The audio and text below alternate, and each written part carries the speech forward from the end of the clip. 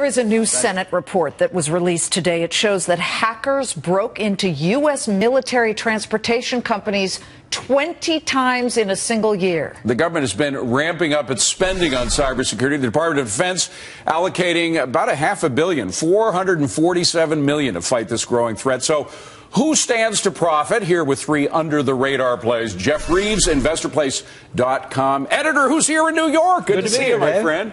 Um, first of all, I know that this is Visa and MasterCard that put out the warnings. I'm surprised that American Express isn't included there. They, my impression is that they're a lot better at cybersecurity than Visa or Mastercard. Is that is that a right impression or wrong? Well, it, it, it, could be, but right or wrong. I mean, the bottom line is, especially for the cybersecurity industry, even if they're better, they're probably spending a heck of a lot more money, and they have a really expensive system that they're putting in place. So, as an investor, uh, I think the opportunity is not just from the hacking, but again, remember, there's always threats that are out there that we don't even see, and so uh, there's a lot of companies out there that are really good at this. And if we don't see it, that doesn't mean you can't make money off it. Well, there are a lot of obvious companies, and then there are the under the radar names, which you've done the digging for us, and we want to know about why you pick these names as the opportunity as the trade to make the investment, and they will return if you own these stocks. Yeah, that's right. I mean, there's a lot of chatter in this space. So there's three big reasons that I like cybersecurity. Number one is the defense Department of Defense numbers that you just threw out. That's up 135 percent over the previous year.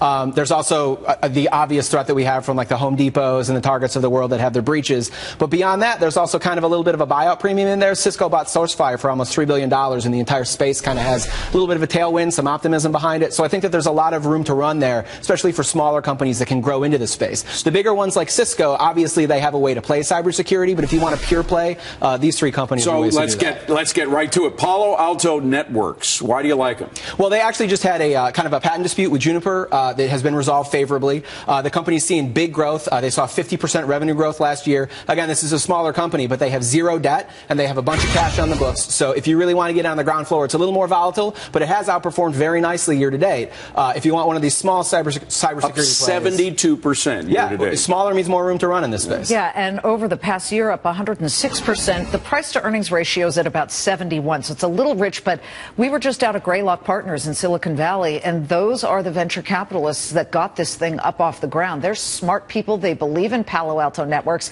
But what specifically does PANW really do that's, that differentiates itself from everybody else in the space? Well, Palo Alto Networks in particular has has really strong earnings, uh, and I believe it was them whose CEO went out and said that they have big contracts in particular that they're moving into. So as a smaller company, if you make bigger contracts, half a million dollars or, or half a billion dollars or larger, that's it good. moves your stock in a hurry. And so it's not just getting smaller companies, small businesses that's important. There's growth there, but being able to net that big fish lets you to, to climb up the ladder and get to the next level. Checkpoint Software Technologies.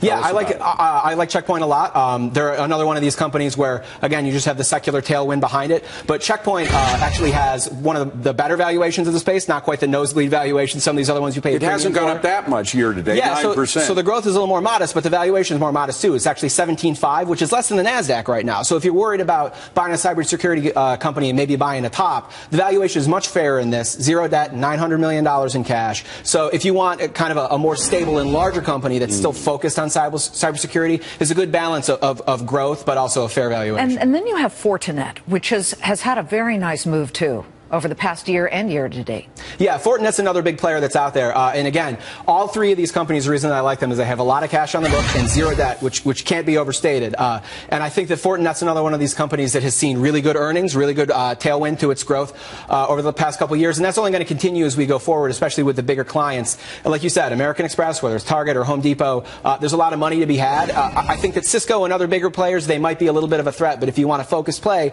and you're okay with a little more volatility, then one of these three stocks should, should By the way, well. you know why American, a lot of people prefer American Express because there's more personal interaction with a guy. You call up uh, Visa and MasterCard, you usually get a recording or sent to somebody else. American Express, they, they deal with you pretty carefully if you have any concerns about cybersecurity. H- highest satisfaction from JD Power and Associates, and that's exactly. for a reason. Customers are satisfied. Jeff, good to see you. Thanks. We have, we have high satisfaction with you, Jeff. Thank I thought you owed me dinner. Didn't you owe me dinner? No, no, no, no, no. it's about global cooling. We got to talk uh, about global ah. cool. I was going to bring you a sweater for the, all the global cooling going Thank on. You. Good to see you, Jay.